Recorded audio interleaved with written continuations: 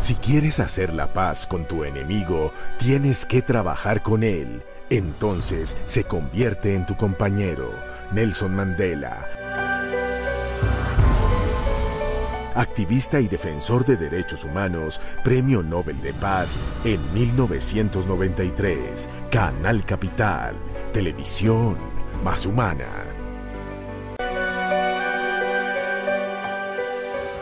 Si quieres hacer la paz con tu enemigo, tienes que trabajar con él. Entonces se convierte en tu compañero.